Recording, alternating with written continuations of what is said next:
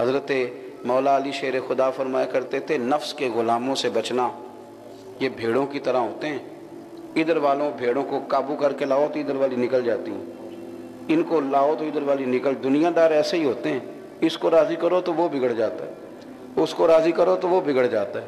तो इतने बंदे राज़ी करने की ज़रूरत क्या है? बंदा एक रब रसूल को क्यों ना राज़ी करे? इन लजीनामन वामिलसालिहात सयाजालहमान वुद्दा। फरमाया तो ईमान लाने के बाद अच्छे अमाल कर, रहमान लोगों के दिलों में तेरी मोहब्बत पैदा कर देगा। हम एक जगह पे बैठे थे तो वो उस साहब ने पैसे दिए हुए थे। तो पहले तो आए बड़े साज समझ के, फिर कहने लगे, जनाब, मेरी उलमा से गुजारिश है, फ़िरका वारियत ना फैलाएँ, कौम को न लड़ाएँ, फलान न करें। अगला जुमा आप इसलाह उम्मत पे और इतिहाद उम्मत पे दरस दें और ये ये बातें बयान करें। तो बाकी तो बर्दाश्त करते रहे। मैं ज़रा खुश्क आदमी हूँ। तबीयत में खुश्की बहुत ज़्यादा है। कुछ बातों का उल्टा असर हो जाता है मेरे ऊपर। मैंने उनसे कहा मैंने कहा कि मौलवी लड़ाते हैं कौम को कि सियासतदान लड़ाते हैं? ये इस सूबे में मेरी गवर्नमेंट तो उसमें तेरी गवर्नमेंट तो ये सारा दिन हमारे बच्चे फेसबुकों पे लड़ते रहते हैं। कोई कुछ बन गया तुम्हारे पीछे तो ये हमने लड़ाया है कि तुमने लड़ाया? मैंने कहा खबरदार। तुम कौन होते हो? लमा को मशवरा देने वाले। दुआ कनूत आती है? जनाजा आता है? जाओ अपना काम करो जाके। लमा को मशवरा ना दो, बल्कि हमसे पूछो कि असेंबली में तकरीर कैसे करनी चाहिए। हम तुम्हें मशवरा देते हैं। और वैसे भी वो कोई और लोग होंगे जो तुम्हारी बातें सुनते हैं। अल्लाह तबारक का वाली फजल करे तो थोड़ा यकीन की दौलत पैदा करें। आला हज़रत फाजल बरेलवी का कमाल पता क्या है? मेरे इमाम का यकीन बड़ा मज़बूत है। पक्का। हमारे हमें तो डॉक्टर रोज कह देता है। रोज डॉक्टर कहता है हमें, रोज़ाना। वो जी ये कज़न मैरिज कर ली, आपने तो तब बच्चे आपके माजूर पैदा हो रहे हैं। तो बंदे मान जाते हैं। आप कहते हैं, बिल्कुल जी, इसीलिए। ओ, खुदा के बंदो कज़न मैरिज के अंदर कोई बुराई होती तो सबसे पहले मेरे नबी पाक बयान करते। हज़रत फ़ातिमा और जनाब मौला अली का करीबी रिश्ता नहीं? क्या बात करते हो साहब? मान गए आप। डॉक्टर के पास जाएँ, वो कहता है, जी, खांसी आपको? हाँ जी। और किसको है घर में? और किसको ये बीमारी है? ओ खुदा के बंदे, अजीब बात करते हो, डॉक्टर की बात मान लेते हो। बुखारी मुस्लिम में मेरे नबी करीम सलाम का फरमान है कि बीमारी मुतदी नहीं होती, एक सौ दूसरे को नहीं लगती। हजूर ने कह दिया, तुम्हें जो डॉक्टर कहता चुप करके मान के आ जाते हो। जो डॉक्टर कहता है मान लिया।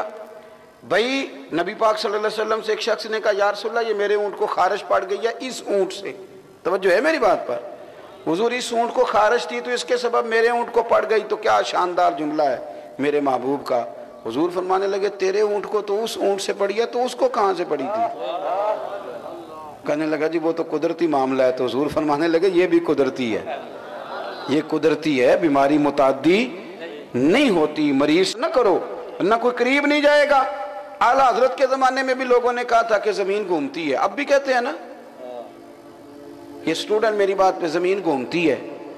इतनी मोटी किताब लिखी आला हज़रत ने मार्केट में मिल जाती है, ज़मीन साकन है। इतनी मोटी किताब, उसका नाम ही ज़मीन साकन है। इतनी मोटी, आला हज़रत फरमाने लगे, जब सही मुस्लिम में हदीस है, कि नबी पाक सलाम फरमाते हैं, जब अल्लाह ने ज़मीन को पैदा किया तो ज़मीन कांपने लगी। तो फिर अल्लाह ने पहाड़ों को बतौर मीखें बना के उसके अंदर ठोक दिया तो ज़मीन ने हिलना बंद कर दिया। जब मेरे नबी ने कह दिया, नहीं हिलती। तो सारा ज़माना भी कहे हिलती है तो हम मानने को तैयार नहीं। नहीं मानते, ख़त्म हो गई बात। यहाँ हमें पता ही कोई नहीं। बस जो दुनिया कह रही है, उसके पीछे लग रहे हैं।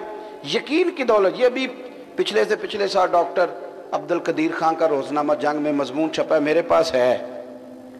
अब अब्दुल कदीर कहते हैं, मैं मौलवियों को नहीं पढ़ता। मुझे वो वाला मौलवी चाहिए जो दीन भी पढ़ाए और साइंस भी समझे। फिर पढ़ते पढ़ते पढ़ते पढ़ते मैं इमाम अहमद रजा बरेलवी तक पहुँच गया हूँ। तो फिर मेरी उन्होंने तसल्ली कराई है कि जो बंदा दीन भी जानता है और जो बंदा रसूलुल्लाह सल्लल्लाहु अलैहि वसल्लम की मोहब्बत भी रखता है और जिसको साइंस की ज़रूरियात की भी खबर है। ये एक कश शकल का नज़रिया है। अब मैं, ये थोड़ी मुश्किल तकरीर तो है, पर मौजू ऐसा है, इसलिए बयान कर रहा हूँ कि जी ज़मीन चीज़ों को अपनी तरफ़ खींचती है। हमारे सारे बच्चे फिज़िक्स वाले, केमिस्ट्री वाले, बायो वाले यही कहते हैं कश शकल है। डारवन का नज़रिया क्यों जी? वो कहता है, जी, मैं दरख्त के नीचे बैठा था तो सेब गिरा तो नीचे, अमरूद गिरा तो नीचे, हर शहर नीचे, ज़्यादा ज़मीन खींचती है। आला हज़रत फरमाने लगे, पागल हो गए हो?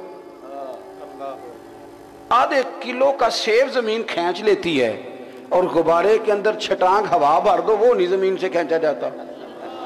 माने लगे, ये तो पागलों वाली बात हुई ना कि आधा किलो का सेब खींच लिया और ये नहीं खींचा गया। तो हजूर, फिर है क्या?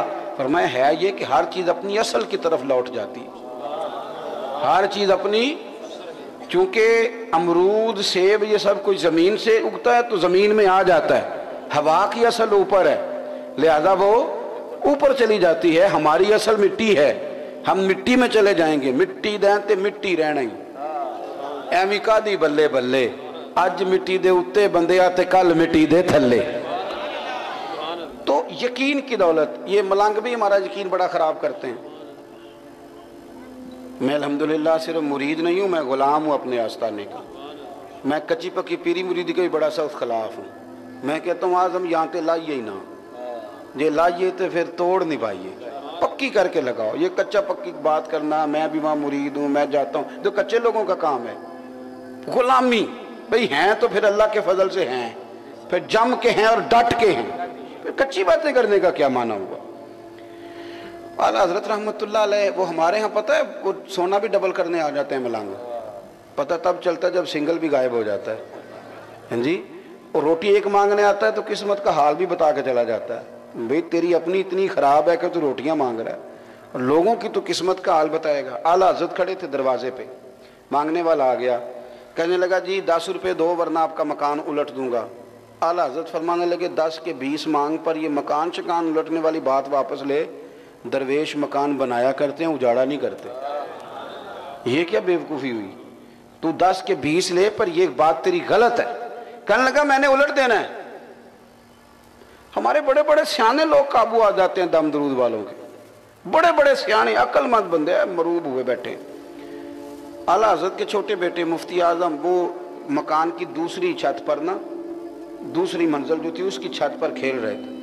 जब आपकी उस फकीर से तकरार बढ़ी ना तो साहबजादे ऊपर से गिरे, गर्दन के बाद सेन में। आपकी वालदा अंदर से बोली, अहमद रजा तुम्हें कहा था फकीरों से ना उलझो। बच्चा गिर गया है। आला हज़रत देखने नहीं आए, हालाँकि औलाद आदमी को बुजदिल कर देती। वापस देखने नहीं आए, फरमाने लगे, अम्मा, ये तो मेरा एक बेटा है। मेरा एक हज़ार भी हो तो मैं नबी पाक की शरीयत पे कुर्बान कर दूँगा। लेकिन मैं ये बात मानने को तैयार नहीं, ये झूठ बोल रहा है, ये नबी पाक के दीन का मज़ाक बना रहा है। पैसे दो मकान, मैं नहीं मानता इसकी बात। गिरता है तो गिर जाए बच्चा। आला हज़रत की ज़ुबान पर ये लफ्ज थे तो शहजादे दौड़े हुए आए। और आके कहने लगे, अब्बा जी, मैं दूसरी मंजिल से गिरा हूँ, पर मेरे तो कपड़ों को मिट्टी भी नहीं लगी। ये क्या है? तो आला हज़रत फरमाने, कुछ भी नहीं, ये मेरा रब रसूल पर यकीन कामिल है। कच्ची पक्की बातें करना, कच्चे कच्चे पता नहीं हो जाएगा कि नहीं, पता नहीं क्या बात करते हो साहब। हुकूमत की बात पर ज़्यादा एतबार कर लेते हैं लोग। इससे बाहर आए। इकबाल कहने लगे, सुन ए तहजीब हाजिर की गिरफ़्तार, गुलामी से बदतर है तेरी बेयकीनी। आप उस मलंग से कहने लगे, तू छोड़, मकान तू बाद में उलटना। तू दरवेशों को समझते, कुछ नहीं। आप फरमाने लगे कि मैंने अपना जुलता उल्टा उल्टा कर दिया है। अगर तू वाकई दरवेश है तो सीधा करके दिखा। तवज्जो है मेरी बात पर उसने पूरा जोर लगाया पर जूता सीधा आप फरमाने लगे हम तो करामतें दिखाते ही नहीं हाँ वरना इट सिट ते पखड़ा कुआर गंदल असी और भी बूटियां जान लिया पता हमें सारा है पर जेड़े महरम राज हकीकत दे ਉਹ ਤੇ ਰਾਜ਼ ਹਕੀਕਤ ਖੋਲਦੇ ਹੀ ਨਹੀਂ ਇਹ ਜਿਨ੍ਹਾਂ ਵੇਖਿਆ ਨਹੀਂ ਉਹ ਕਰਨ ਗੱਲਾਂ ਜਿਨ੍ਹਾਂ ਵੇਖ ਲਿਆ ਉਹ ਤੇ ਬੋਲਦੇ ਹੀ ਨਹੀਂ एक तो यकीन, ईमान, फिर वामिल सालहात। मेरे ज़माने में ना तकरीरों की कोई कमी नहीं। बड़े बड़े सियाने बंदे, पंचायत में बात ही नहीं करने देगा बंदा। आप जिसको छेड़ दें, मुझे यूँ लगता है कि अमेरिका की हुकूमत भी इसी से पूछ के बनती। है हर बंदे ने मोबाइल पकड़ा, कहता मैं तुम्हें अंदर की खबर देता हूँ। मैं कहता हूँ, तेरा कौन सा ऐसा ज़रिया है? तू अंदर की खबरें दे रहा है, तू चुप कर तो अपने अंदर की फ़िक्र कर। अपने मन में डूब कर पाजा सुरागे ज़िंदगी। तू अगर मेरा नहीं बनता, ना बन, अपना तो बन। सिहाबा ना अमल करते थे। दीन मनाने नहीं आया सिर्फ़। ये महफिल कराने वालों से मैं तो कई दफ़ा पूछ लेता हूँ। मैं कहता हूँ, किस नीयत से महफिल करा रहे हो? कि बोर्ड पे फ़ोटो लग जाएगी? ये लोग बाद में कहेंगे बल्ले बल्ले बड़ा जलसा करा। इसलिए वो खुदा के बंदे, सवाब की तो नीयत कर ले काम